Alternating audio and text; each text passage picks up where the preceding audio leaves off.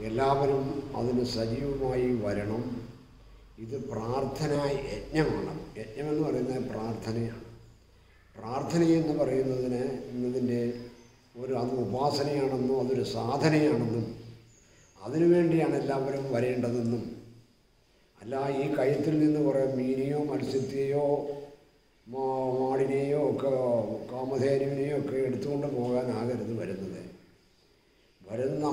പ്രാർത്ഥിക്കുക നമ്മൾ നിസ്വാർത്ഥമായി പ്രാർത്ഥിക്കുക. ഭഗവാൻ പറയുന്നത് അപേക്ഷയുള്ളൊരു ജനത്തിനെല്ലാം ഉപേക്ഷ കൂടാതെ കൊടുക്കും ഈശൻ. എന്നാ ഭഗവാൻ പറയുന്നത്. എന്ന് പറഞ്ഞാൽ അപേക്ഷിക്കുക എന്ന് പറഞ്ഞാൽ എന്താ? പ്രാർത്ഥിക്കുക എന്നാ.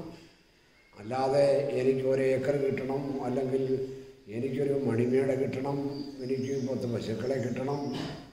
ഇങ്ങനെയുള്ള ഓരോരോ ആവശ്യങ്ങൾ ഉന്നയിച്ച് നമ്മൾ പ്രാർത്ഥിക്കുന്ന പ്രാർത്ഥനയല്ല. പല പല ആവശ്യങ്ങളും നമുക്കുണ്ടായിരിക്കും. പക്ഷേ ആവശ്യങ്ങളെയെല്ലാം നമ്മൾ മനസ്സിലടക്കി ഭഗവാനിൽ അർപ്പിച്ച് പ്രാർത്ഥിക്കുകയാണ് ചെയ്യേണ്ടത്. ഭഗവാനോട് ഒന്നും നമ്മൾ ആവശ്യപ്പെടരുത്.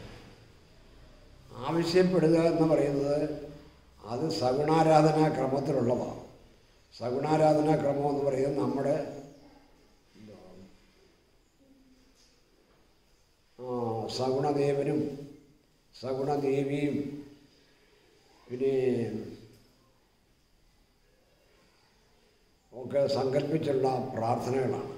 ആ അത്രയും പ്രാർത്ഥനകളിലാണ് ഓരോരോ ആവരാധികൾ നമ്മൾ മുന്നോട്ട് വെച്ച് ഓരോരുത്തരും പ്രാർത്ഥിക്കുന്നത്. ക്ഷേത്രങ്ങളൊക്കെ അതങ്ങനെയാണ് നടക്കുന്നത്.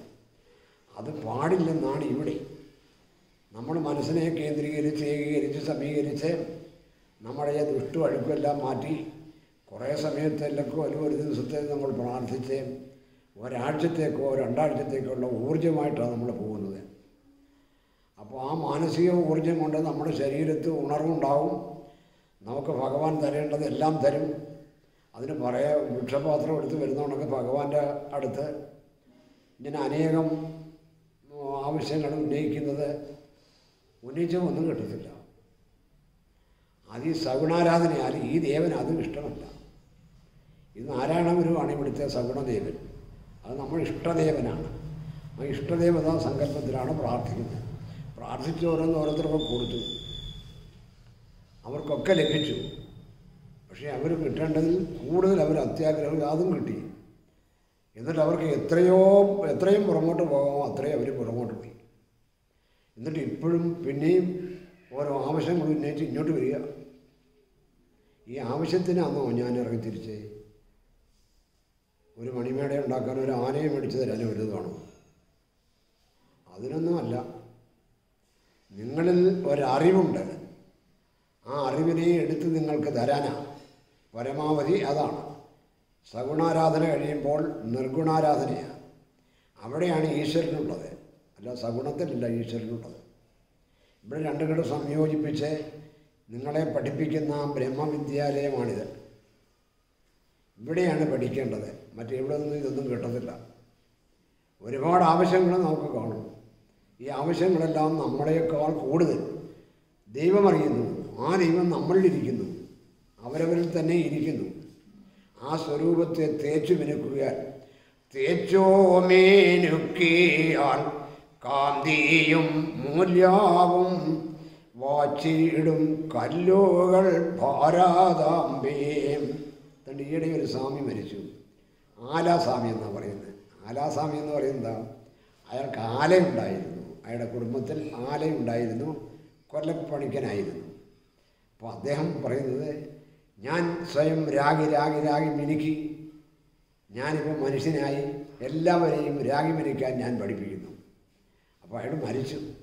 അപ്പോൾ ഒരു ശിഷ്യൻ ഭക്തൻ എഴുതിയിരുന്നതാണ് അപ്പോൾ അയാൾ രാഗുമായിരുന്നു. അയാളുടെ അരം കൊണ്ട് രാഗം മിനുക്കി മനുഷ്യനെ സൃഷ്ടിക്കുമായിരുന്നു അയാൾ ആ മനുഷ്യൻ